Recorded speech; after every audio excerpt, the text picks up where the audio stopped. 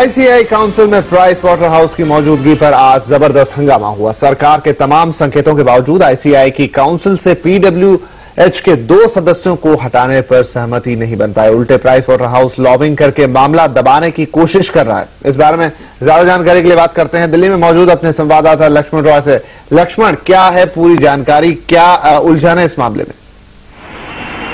देखिए आईसीआई के जो आठ घंटे तक बैठक चली, उसमें कोई ठोस नतीजा नहीं निकाला जा सका। अतः न ही कोई तत्काल कार्रवाई कदम किए जाने पर कोई आम राय बन सकी। इस सूत्रों के मुताबिक इस बैठक में जो खासकर जो मुद्दा छाया रहा, वो ये था कि पीडब्ल्यूसी के दो ऑडिटर्स को, जो यहाँ के इलेक्टेड मेंबर्स हैं इस आईसीआई के, उनके, उन्हें नैतिक ज़िम्मेदारी लेते हुए इस्तीफा दे देना चाहिए था। ये दोनों मेंबर्स है हरिंदरजीत सिंह और दूसरे थे एस गोपाल कृष्णन। एस गोपाल कृष्णन ने दो हज़ार छह में सत्यम की ऑडिटिंग भी की थी। इसलिए कहा जा रहा था कि इन दोनों को नैतिक ज़िम्मेदारी लेते हुए इस्तीफा दे देना चाहिए था। इसके पक्ष में यहाँ की जो ऑफ़िस बेयर थे, वो दिखे, उन्होंने प्रस्ताव भी लाया। दूसरी तरफ़ से सरकार के जो दो नुमाइंदे से इलेक्टेड मेंबर्स उन्होंने भी एक सरकार की मंशा जताई कि ये चाह इन दोनों को नैतिक ज़िम्मेदारी लेते हुए इस्तीफा दे देना चाहिए था। लेकिन दूसरी तरफ़, जो यहाँ के इलेक्टेड मेंबर्स के अलावा जो सदस्य थे, उन्होंने इस प्रस्ताव का पुरजोर विरोध किया। और एक तरफ़ से कहा जाता है पीडब्ल्यूसी के पक्ष में ये दूसरे इलेक्टेड दूसरे जो मेंबर्स थे, वो दिखे, साथ ही साथ ऑडिटर के खिलाफ तत्काल कोई कार्रवाई किए जाने की को लेकर या फिर दोनों सदस्यों के इस्तीफे को लेकर के पक्ष में नहीं दिखे। और कुल मिलाकर धीरे धीरे माहौल पूरा राजनीतिक रंग लेता गया, क्योंकि पिछले दिन जो इलेक्शन हुए थे उसमें जो हारा हुआ गुट था,